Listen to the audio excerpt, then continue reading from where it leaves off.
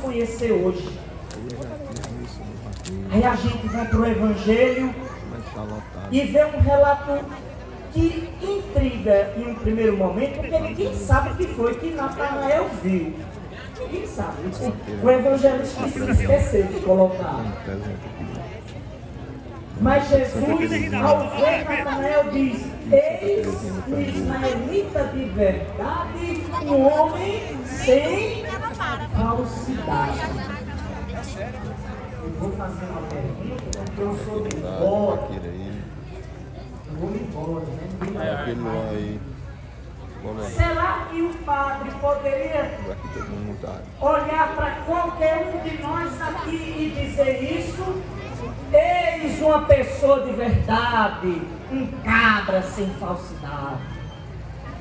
Será que nós temos esse privilégio de nos sentirmos pessoas que não são é falsas? é ano.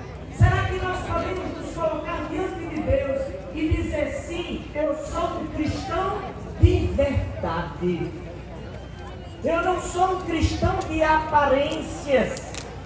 Eu não sou um cristão católico por conveniências. Vou aquele nos burrinhos aí, nas mulinhas. Será?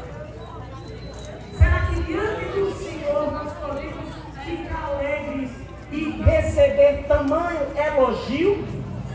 Enfeitada. Ou será que quando nos apresentarmos diante do Senhor, nós vamos ter outro tipo de exclamação?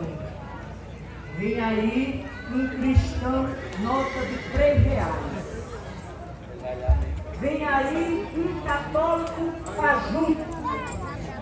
Vem aí um católico de conveniências que só aparece na festa de Santa Teresinha. Vem aí um católico.